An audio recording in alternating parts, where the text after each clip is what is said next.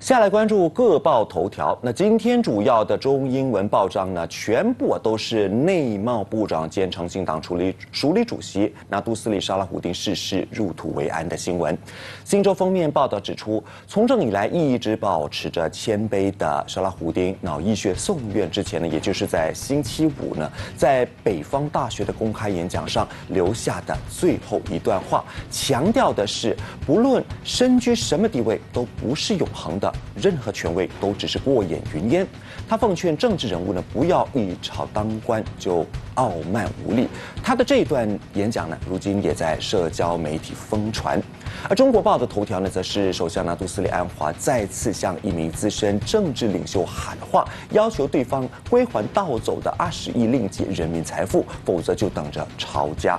安华以不点名的方式强调呢，这已经是他第三次向对方喊话，而对方不断的宣称被政府打压，受到政治报复，但这些指控都是一派胡言，因为我国是法治国家，对方犯错和政治报复没有任何关联，并且扬言呢，反贪会和内陆税收局会到对方的住家和办公室搜查，同时呢，会调查他的银行户头。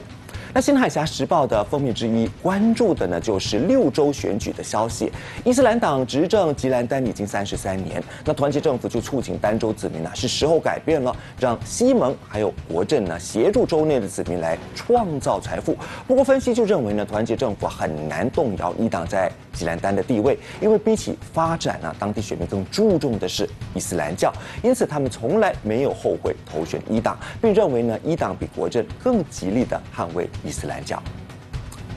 好，那我们现在呢，就来看一看这个呃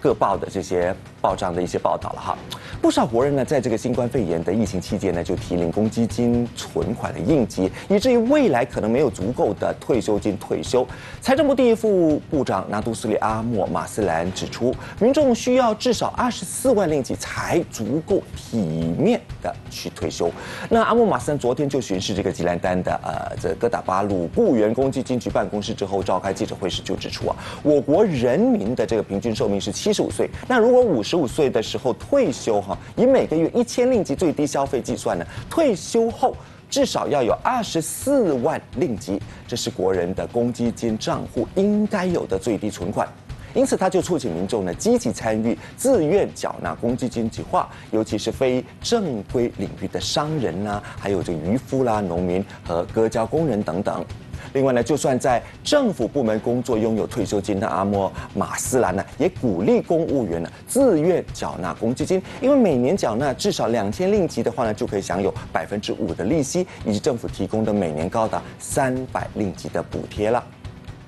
我们来看一下这个呃其他报章的新州的这个消息哈，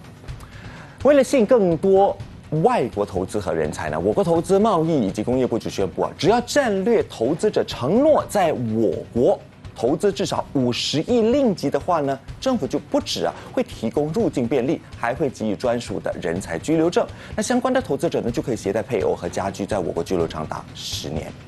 荆州日报》的报道指出。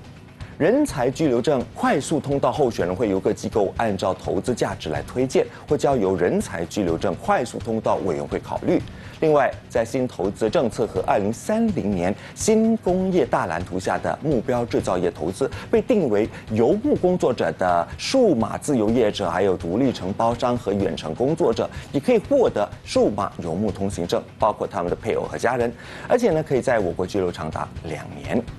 我们来看。天气和了，来看一下这个，